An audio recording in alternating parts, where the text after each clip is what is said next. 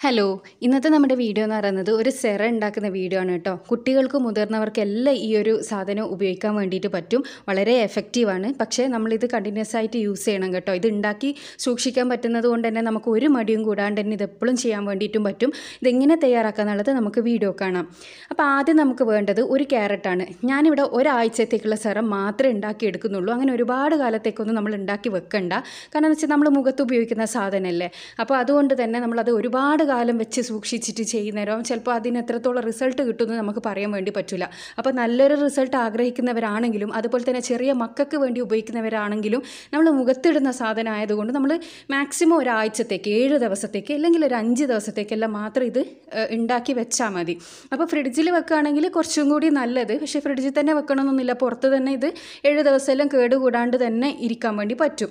അപ്പോൾ ആ ഒരു ഈ ഒരാഴ്ചത്തേക്ക് വേണ്ടിയിട്ടുള്ളതിന് മാത്രമാണ് ഞാൻ ഈ ഒരു ക്യാരറ്റ് എടുക്കുന്നത്. കേട്ടോ. അത് നമ്മൾ ചെയ്യേണ്ടത് ഇതേപോലെ ഒന്ന് ഗ്രേറ്റ് ചെയ്തെടുക്കുക. ഇതേപോലെ ഗ്രേറ്റ് ചെയ്തെടുക്കുന്നില്ലെങ്കിലും സാരമില്ല. വളരെ ചെറിയ പീസസ് ആയിട്ട് നിങ്ങളൊന്ന് കട്ട് ചെയ്തെടുത്താൽ മതി. എല്ലാവരും മിക്സിയുടെ ജാറിലിട്ടിട്ട് ജസ്റ്റ് ഒന്ന് ക്രഷ് ചെയ്തെടുത്താലും മതി.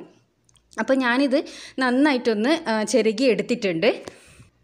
അപ്പോൾ ഇത് നമ്മൾ ഒരു ട്വന്റി ഫോർ ഹവേഴ്സ് ഇത് നമുക്കൊരു കാര്യം ചെയ്യാൻ വേണ്ടിയിട്ടുണ്ട്. അതെന്താ ചെയ്യേണ്ടതെന്ന് വെച്ചാൽ ഇങ്ങനെ ചിരകിയെടുത്ത ഒരു ക്യാരറ്റ് നമ്മളൊരു ഗ്ലാസ് ബൗളിലേക്ക് ഇട്ട് കൊടുക്കുക ഒരിക്കലും നിങ്ങൾ പ്ലാസ്റ്റിക് എടുക്കാൻ പാടില്ല കേട്ടോ പ്ലാസ്റ്റിക്കിലെടുത്ത് സൂക്ഷിക്കുമ്പോൾ ഇതിന്റെ സ്മെല്ല് മാറാൻ വേണ്ടി സാധ്യതയുണ്ട്. ഇനി നിങ്ങൾ പ്ലാസ്റ്റിക്കിൽ ഇടുന്നുണ്ടെങ്കിൽ നല്ല ക്വാളിറ്റിയുള്ള പ്ലാസ്റ്റിക് മാത്രമേ ഉപയോഗിക്കാൻ പാടുള്ളൂ.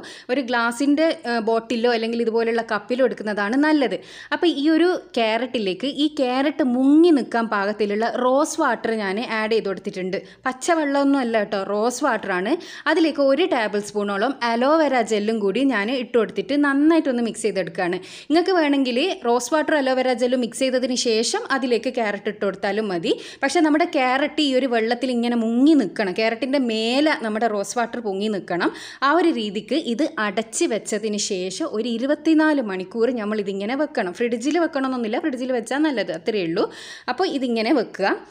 അപ്പോൾ ഇത് ഒരു ട്വന്റി ഫോർ അവേഴ്സ് ഞാൻ ഇന്നലെ തലേന്നാണ് ഇത് എടുത്ത് വെച്ചത്. അപ്പോൾ ഇന്ന് നമുക്കിത് എടുക്കുന്ന സമയത്ത് തന്നെ ഇതിന്റെ കളറെല്ലാം ഓറഞ്ച് കളറായി വന്നിട്ടുണ്ടാകും കേട്ടോ. ആ വെള്ളമെല്ലാം ആ ക്യാരറ്റിന്റെ സത്ത് ഇറങ്ങിയിട്ട് ഇനി എന്താ ചെയ്യേണ്ടതെന്ന് വെച്ചാൽ ഈ ക്യാരറ്റ് നമുക്കൊന്ന് അരിച്ചെടുക്കണം. അപ്പോൾ അരിച്ചെടുക്കുമ്പോൾ ഒന്നെങ്കിൽ നിങ്ങൾ അടുപ്പിച്ചിട്ടുള്ള ചെറിയ അരിപ്പ് ഉപയോഗിക്കുക.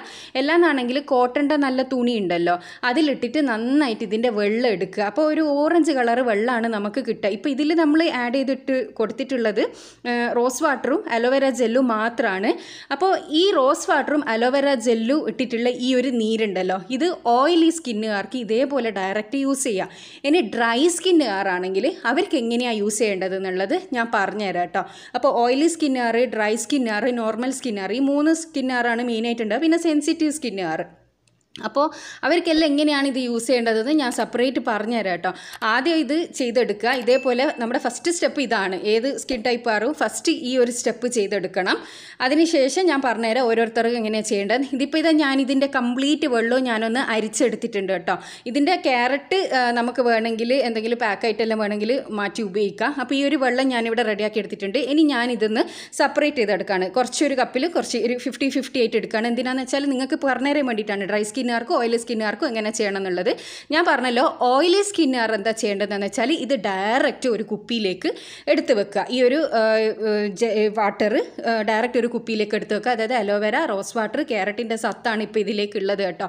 ഇത് ഡയറക്റ്റ് നമുക്ക് നല്ലൊരു ഡ്രൈ ആയിട്ടുള്ള പ്രത്യേകം ഞാൻ എടുത്ത് പറയുകയാണ് നല്ല ഡ്രൈ ആയിട്ടുള്ള ഒന്നെങ്കിൽ ഗ്ലാസ് ബോട്ടിൽ സൂക്ഷിക്കുക. അല്ലാന്നാണെങ്കിൽ നല്ല ക്വാളിറ്റിയുള്ള പ്ലാസ്റ്റിക് ബോട്ടിൽ ഉണ്ടാക്കി സൂക്ഷിക്കുക. ഇതൊരു എന്താ പറയുക നമ്മളൊരു സെറ ഒരു വെള്ളം പോലെയല്ലേ ഉള്ളത്? അതുകൊണ്ട് തന്നെ നമ്മൾ മുഖത്തേക്ക് അപ്ലൈ ചെയ്യുമ്പോൾ നമുക്കിങ്ങനെ ഡ്രോപ്പ് ഡ്രോപ്പായിട്ട് അടിക്കാൻ പറ്റുന്ന രീതിക്ക് അല്ലെ സ്പ്രേ ചെയ്തിട്ട് അടിക്കാൻ പറ്റുന്ന രീതിക്ക് ഉള്ള ഒരു ബോട്ടിൽ വെക്കുകയാണെങ്കിൽ നിങ്ങൾക്ക് ഉപയോഗിക്കാൻ ഈസി ആയിരിക്കും.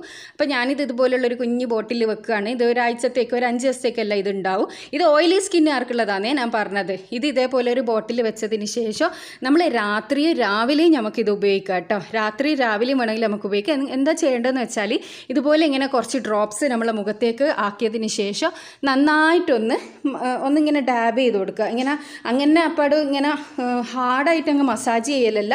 ജസ്റ്റ് നമ്മൾ ആ വെള്ളം ഇങ്ങനെ നമ്മുടെ മുഖത്തേക്ക് ഇങ്ങനെ ഒന്ന് ആക്കി കൊടുക്കുക.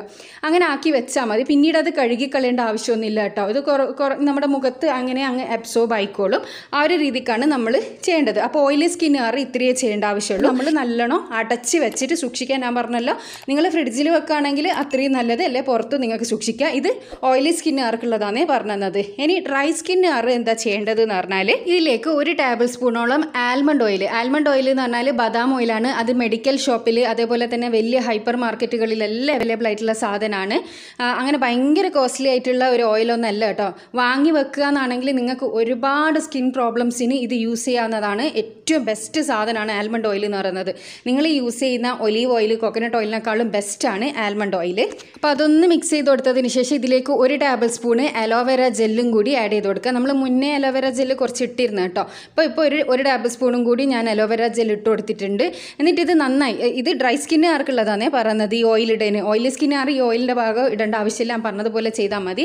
അപ്പോൾ ഇത് നന്നായിട്ടൊന്ന് മിക്സ് ചെയ്തെടുക്കണം. അപ്പോൾ ഈ ഒരു ഇത് ഈ ഒരു സെറം എന്ന് പറയുന്നത് നമുക്ക് കുറച്ചൊരു കട്ടിക്ക് കിട്ടും കേട്ടോ. മറ്റേത് നല്ല വാട്ടറി ആയിട്ടാണ് ഉണ്ടാകുക ഇത് കുറച്ചൊരു കട്ടി ഉണ്ടാവും. കാരണം അലോവേര ജെല്ലും അതുപോലെ തന്നെ ഈ ആൽമണ്ട് ഓയിലും കൂടി മിക്സ് ചെയ്യുന്ന സമയത്ത് തന്നെ അത് കുറച്ചൊന്ന് കട്ടിയാവും. അപ്പോൾ നല്ലോണം ബീറ്റ് ചെയ്ത് കൊടുക്കാൻ വേണ്ടിയിട്ട് ശ്രമിക്കണേ. എന്നാൽ മാത്രമേ അത് നന്നായിട്ട് അതിലേക്ക് ഇതായിട്ട് അലിഞ്ഞ് കിട്ടുള്ളൂ. നമ്മുടെ അലോവേര ജെല്ലല്ലോ അപ്പോൾ ഇത് ഇതേപോലെ തന്നെ ഡ്രൈ ആയിട്ടുള്ള ഒരു സ്പ്രേ ബോട്ടിൽ ഞാൻ ഇട്ട് കൊടുക്കുന്നുണ്ട്. അത് ഒന്നിക്കുണ്ടെങ്കിൽ ഗുഡ് പ്ലാസ്റ്റിക് ആയിരിക്കണം. എല്ലാന്നാണെങ്കിൽ ഗ്ലാസ് ബോട്ടിലായിരിക്കണം പ്രത്യേകം ശ്രദ്ധിക്കണം. ഇതും അതേപോലെ തന്നെ ഞാൻ അടച്ച് വെച്ച് സൂക്ഷിക്കുകയാണ്. ഞാൻ ഫ്രിഡ്ജിലാണ് ഇത് വെക്കുക കേട്ടോ. അപ്പോൾ ഇതും നമ്മൾ നേരത്തെ പറഞ്ഞതുപോലെ തന്നെ ഒന്ന് സ്പ്രേ ചെയ്ത് കൊടുക്കുക. എന്നിട്ട് ജസ്റ്റ് ഒന്നിങ്ങനെ ഡാബ് ചെയ്ത് കൊടുക്കുക. പിന്നെ വേറൊരു കാര്യം എന്താ പറയാനുള്ളത് എന്ന് വെച്ചാൽ നമ്മളിത് മുഖത്തേക്ക് അടിച്ചു കൊടുക്കുന്ന സമയത്തിന്റെ മുന്നേ നമ്മൾ മുഖം നന്നായി കഴുകിയെടുക്കണം. ഒരു സോപ്പോ ഫേസ് വാഷോ ഉപയോഗിച്ചിട്ട് നന്നായി കഴുകിയെടുത്തതിന് ശേഷമാണ് ഇത് ചെയ്യേണ്ടത്. നിങ്ങൾക്ക് ഞാൻ പറഞ്ഞാൽ രണ്ട് നേരം ചെയ്യാം. അല്ലെങ്കിൽ രാത്രി കിടക്കുമ്പോൾ ദിവസവും ഇത് ചെയ്തിട്ട് കിടന്നാൽ മതി. അപ്പോൾ വളരെ നല്ല റിസൾട്ടായിരിക്കും കുട്ടികൾക്ക് ഉപയോഗിക്കുക. അതേപോലെ തന്നെ വലിയവർക്ക് ഉപയോഗിക്കുക. അഞ്ച് വയസ്സിന്റെ മേലെയുള്ള എല്ലാ കുട്ടികൾക്കും ഇത് ഉപയോഗിക്കാൻ വേണ്ടി പറ്റും. അപ്പോൾ ഇതുപോലെയുള്ള ഒരുപാട് വീഡിയോസ് ഞാൻ ചാനലിൽ ഇട്ടിട്ടുണ്ട്. കാണാൻ ഇഷ്ടപ്പെടുന്നവർ ദയവേതൊന്ന് സബ്സ്ക്രൈബ് ചെയ്യുക. പിന്നെ ഇതിന്റെ റിസൾട്ട് കിട്ടിയിട്ടുണ്ടെങ്കിൽ കമന്റ് ചെയ്യാം കേട്ടോ. അടുത്ത നല്ല വീഡിയോ ആയിട്ട് വീണ്ടും കാണാം. Thanks for watching